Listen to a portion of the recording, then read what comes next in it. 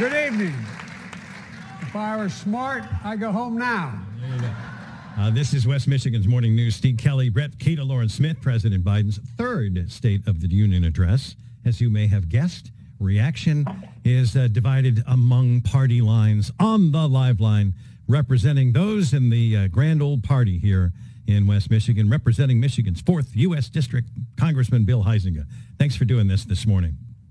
Hey, good to be with you. And I do think that was his best line of the entire speech. So, uh, but the you mentioned. well, no. In all ser- Go ahead. look, in all seriousness, there was two times that the entire place stood up and and and applauded. Uh, well, three. One when he walked in. Uh, two uh, when he mentioned the great uh, uh, civil rights icon John Lewis.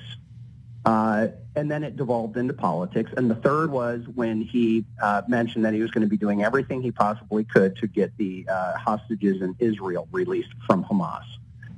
And beyond that, it was, well, the, the Washington Post calls it a fervent Biden takes on, on Trump GOP.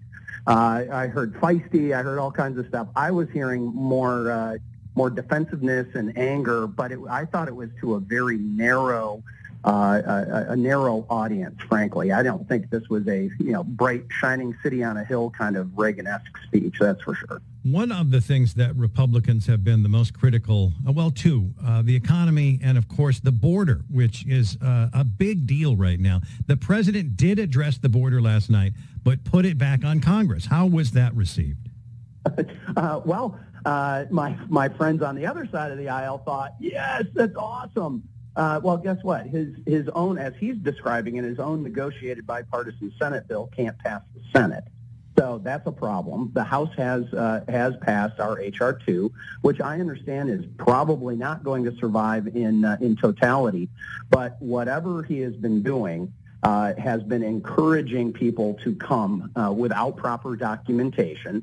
Uh, and we have massive, massive problems. And I'm glad he and the vice president are finally coming to that realization.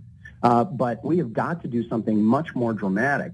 And if there is something like a remain in Mexico policy uh, reinstated, there's estimates that that would stem the flow by 70%. These are cu- uh, Customs and Border Patrol numbers and estimates. Um, so uh, but he has no willingness to do that. And so instead, they're hiding the numbers. They're, they're, they have these secret flights going around all over the country. They're trying to, they literally are pulling uh, Customs and Border Patrol agents from our northern border and getting them down to the southern border. Um, it, it's a mess down there. Congressman, with all seriousness, I, I, had to ask this question because I listened on the radio coming back from my high school game last night. I watched on TV, and I just think this format has gotten old uh, it's gotten long.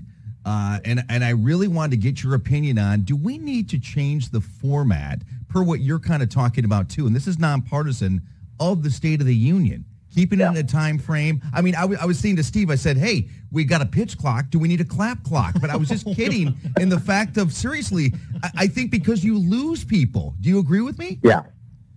Yeah, there, there is something. You know, uh, back before radio, and really, it was FDR that uh, that kicked this off.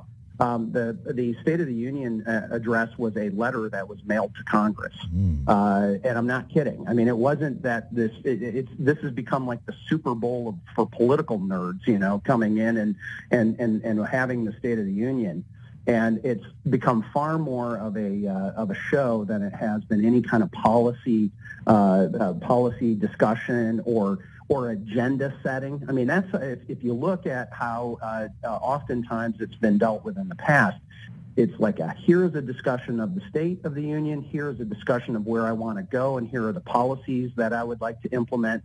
And it wasn't just this laundry list of all the things uh, that I'd like to do, which he kind of hit at the end. But um, you know, he he literally started out, and I wrote this down. It, he, he said, just like FDR, he was here to, quote, wake up Congress. Well, I mean, there's a few things that I think if you look at the economy and his, his view that when he said that America is safer today than it was when he came into office, um, I think there's a little wake-up call that needs to happen, but it's at 1600 Pennsylvania Avenue. That is Congressman Bill Huizenga uh, representing Michigan's 4th. Thank you for your time today.